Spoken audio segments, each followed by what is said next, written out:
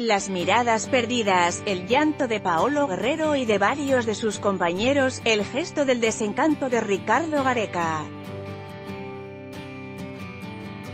El sueño de Perú duró apenas dos partidos en Rusia.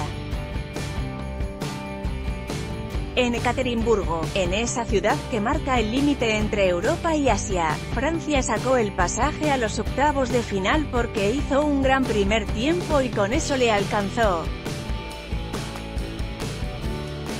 Para sacar una luz de ventaja, a Perú solo le queda el consuelo de ganar el último partido contra Australia para quebrar una sequía de triunfos en mundiales que ya lleva 40 años.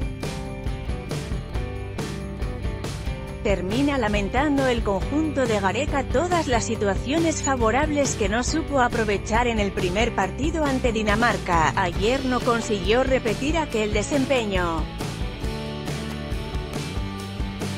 Le faltó pólvora arriba ante una defensa rival que se apoyó en la experiencia de Rafael Varane y de Samuel Umtiti y en alguna atajada de Hugo Lloris para mantener su arco en cero. Mira también Ricardo Gareca se sumó a la maldición de los técnicos argentinos lo justificó Francia por ese primer tiempo. Donde sus piezas lucieron más aceitadas y donde mostró que con la precisión en velocidad que suele alcanzar sumada a la calidad de sus integrantes puede ser un rival durísimo para cualquiera. Luego de un comienzo dubitativo donde la presión alta peruana se hacía sentir poco a poco Francia se reacomodó.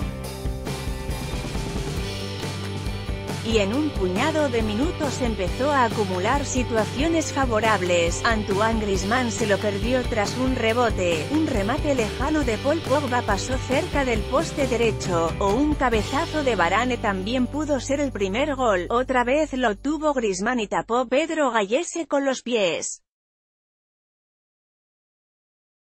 Desbordado se mostraba Perú, que no encontraba la pelota en el medio y que atrás mostraba lentitud. Esta Francia es veloz para atacar. Por momentos pierde la brújula pero no se desespera. Se repliega y apuesta a las réplicas con la elegancia de Pogba, con el despliegue y los quites de N'Golo Kanté, con la calidad y los lujos de Kylian Mbappé, con un Griezmann que la toca poco pero siempre tiene claro qué hacer. Con Olivier Giroud como faro en el área para aguantar todo y para participar del armado ofensivo. Mira también uno por uno, lo que cobran los 32 DT del Mundial pasó la tormenta después de esos minutos difíciles para Perú en el primer tiempo. Y tuvo la gran oportunidad de marcar el desnivel a través de Paolo Guerrero a los 30 minutos. El delantero que todos le pedían a Gareca se movió muy bien dentro del área y su disparo lo desvió Lloris con las piernas.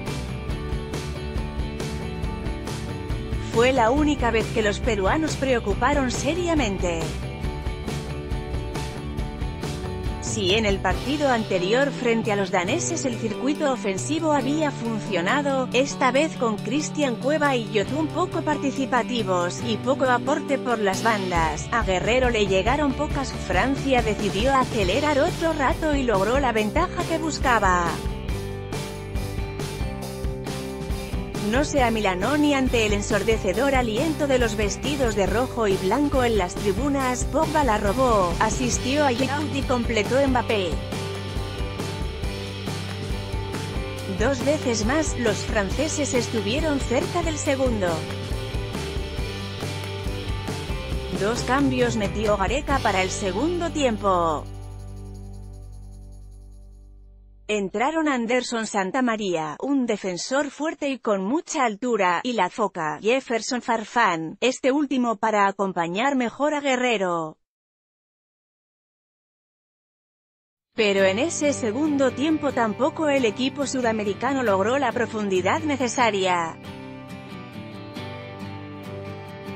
Francia reguló energías, se replegó e intentó rodear a los generadores de juego de Perú, con una celosa marca sobre Farfán y sobre Guerrero, de opaco rendimiento. Tuvo más desborde por la derecha con Advíncula y con Carrillo, más participación de Farfán y de Cueva. pero solamente con un par de remates lejanos, los de Gareca preocuparon a Lloris. Sobre todo con uno de Pedro Aquino que se estrelló en la unión del palo derecho y el travesaño del arco del francés. Luego entre la impotencia de uno y el conformismo del otro se fueron consumiendo los minutos de la segunda etapa. Mira también el Mundial hace estrellas publicitarias a las madres de la selección peruana de este grupo, el C, saldrán los rivales del que integra Argentina, habrá que tomar nota de este. Equipo francés que destila calidad, que juega bien cuando se lo propone y que, pese a ser un plantel joven, parece haber absorbido presiones para mantenerse lúcido y defender en situaciones adversas.